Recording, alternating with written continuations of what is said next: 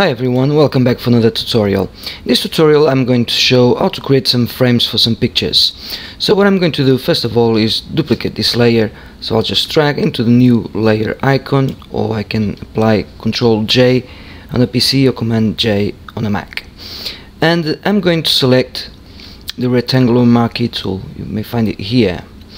And I'm just going to get the selection like so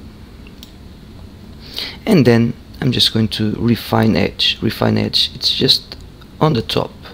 I just click it and uh, I'm just going to turn smart radius on and I'm going to bring the radius all the way up.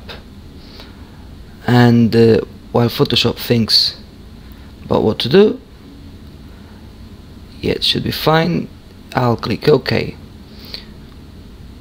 Well you haven't seen nothing because it's still progressing as you can see. But it's quite a large picture. So what I'm going to do is I'm going to apply a layer mask into that or I'm going to undo and I'm going to show you another thing another idea. You can do it as well. So you click refine edge smart radius all the way up and uh, the output to you click output to new layer with layer mask and click OK. And once again Photoshop is working its magic. And any moment now perfect. So what I'm going to do now is put a layer just below the existing one so we can see what we've done. So in this case I'm going to hold control and click on new layer icon and I'm going to fill it with black. I'm going to use the foreground color. Actually I'll use white. I'll click OK. And there you go. We have a nice frame. Okay that's one, uh, one trick. Let's do another one. I'll come back like so. I'm going this case now what I'm going to do is I'm going to unlock this layer. There's many ways you can unlock. You can drag the lock into the trash. You can double click and then you click OK and get rid of it. Or if you click alt on the lock just locks. Okay didn't. Okay doesn't matter. I just got confused now. Uh, okay then. And I'm going to do is I'm going to get a layer underneath the existing one. So once again control or command in the Mac and I can new layer. I'm going to fill it black. What I'm going to do now is I'm going to grab the lasso tool and I'm just going to go like so.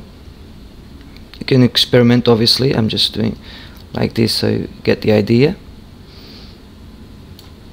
There you go. We've got a selection. What I'll do is I'll control J so I get this effect. Now very simple. I'll just hold alt and between the two layers in this case layer 0 and layer 2 the icon the cursor changes to an icon that's creating a clip mask. So I'll just click and there you go. We have a nice frame so I'll just change this color to white and we've got a different frame very original. So I'll just take this away and I'm going to do another one. Okay once again I'm going to duplicate this layer. And what I'm going to do is I'm going to grab my brush and I want to go into my presets and I'm going to find let's see this one here how it looks yeah doesn't look bad. Doesn't look bad. So just grab any brush after you see this effect. You can even create your own brushes. What I'm going to do in here well I've clicked over here on the top so I launched the brush palette. And what I'm going to do is I'm going to change the spacing slightly. Remove the dual brush scattering. I'll take the scattering off.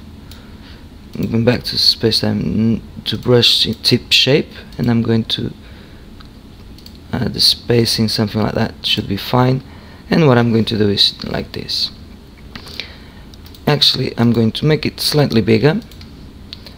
So I'll just click outside the picture and roughly at same level holding shift click again and then you can click again. And then you can go on the sides the same thing. So click once. On the other side roughly same level holding shift. And go back and hold shift again. And go to the side like so holding shift and holding shift like so. And there's a nice layer a nice um, frame effect. And that's it for now. I hope you liked it. See you next time. Bye for now